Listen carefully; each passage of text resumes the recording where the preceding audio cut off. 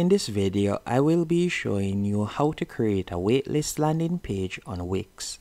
Once you have created your Wix account, which you can do for completely free, I want you to tap on create new site.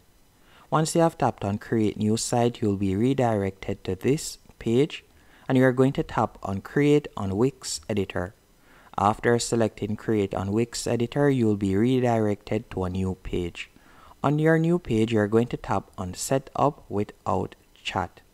After doing that, I want you to tap on the search bar and you're going to type in landing page and you're going to select landing page. Once you have done that, you're going to tap on continue.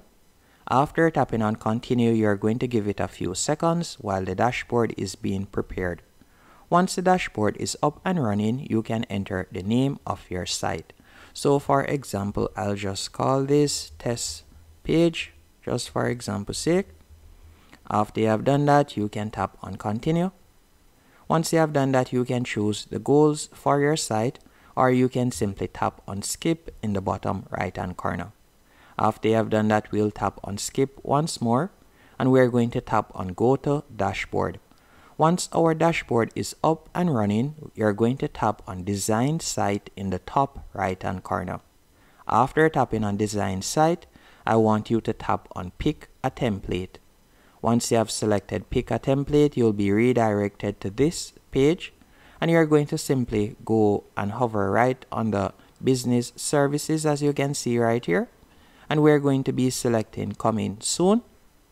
After you have tapped on Coming Soon, you can see some nice templates that you can choose from to create a waitlist landing page. Now let's say for example I would like to use this one. All I'll need to do is simply tap on edit. You could select this one with the countdown timer if you want or you could add a countdown timer to your waitlist landing page. I'll be showing you how to do that. So we're going to select edit after you have selected edit, you will give it a few seconds while your website is being created in the background.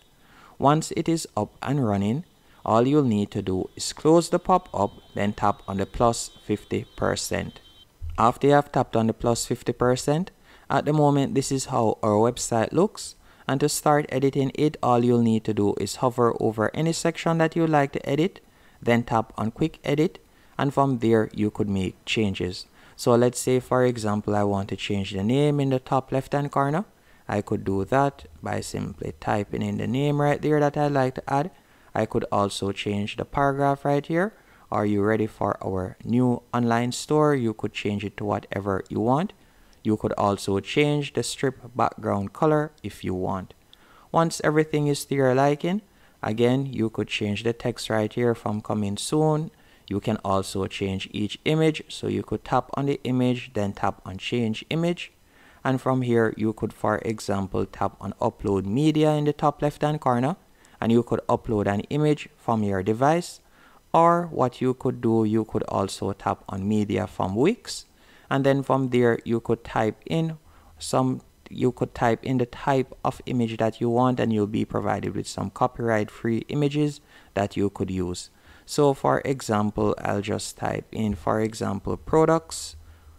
So let me do that. And then from there, I'm going to select this product, for example, then tap on choose image in the bottom right hand corner. And I'll also change this image right here. And I'll tap there, tap on change image once more, tap on media from Wix. And I'm going to type in products once more. And I'm going to be selecting another product. Let's say for example this one. Then tap on choose image again. And you could do this for all of the images. And also what I would recommend you do if it is a case that you would like to make the image clickable you can simply select the image. Then you'll tap on the link icon. And from here you could paste in the link. For example you could tap on web address. And you could paste in the link that you'd like to redirect persons to you can also choose whether you like when they tap on that image, they are redirected to a phone number or if you like to redirect them to an internal page, you could do that by tapping on page right there. So that is how you'll be able to make the image clickable. And if it is a case that you like to change the text that is right here, all you'll need to do is simply tap on the text box then you will see the option edit text and you can make changes. You can also change the font style and size if you want. And also if you like to add social media links, you can do that as you can see them right here. You could simply tap on that. Then you'll tap on set social links. And from here, you'll be able to paste in, for example, your Facebook link.